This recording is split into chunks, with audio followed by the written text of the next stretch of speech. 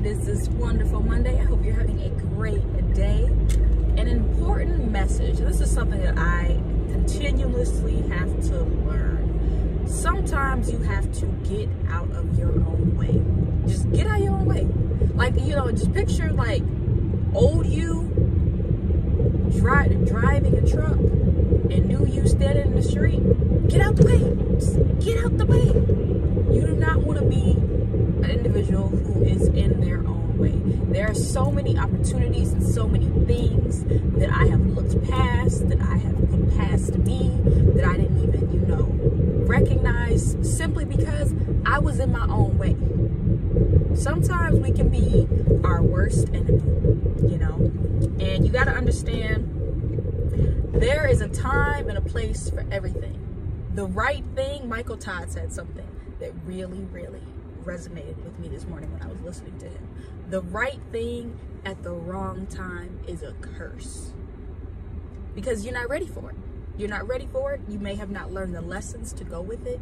You may not be prepared. You may not have the resources. And understanding that you need to be prepared. That's why experiences that happen in life, you know, trials and tribulations, obstacles, do not take these things as bad things.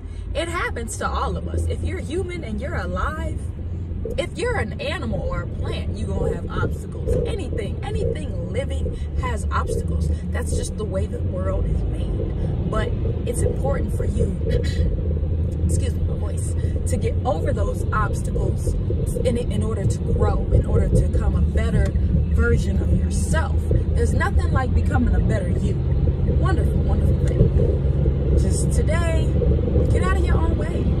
You've been hesitant about wanting to start a business, taking an opportunity, you know, get a new job. Look at it. What what can what is the worst thing that can happen? No. Okay. I get told no every day of my life, all the time. In fact, we get told no more than we will ever get told yes. And that is completely fine no's prepare you. So when you get the yes, you're just like, yes. anyway, with that being said, y'all have a wonderful day. Enjoy this beautiful fall, winter, bipolar weather that we are having.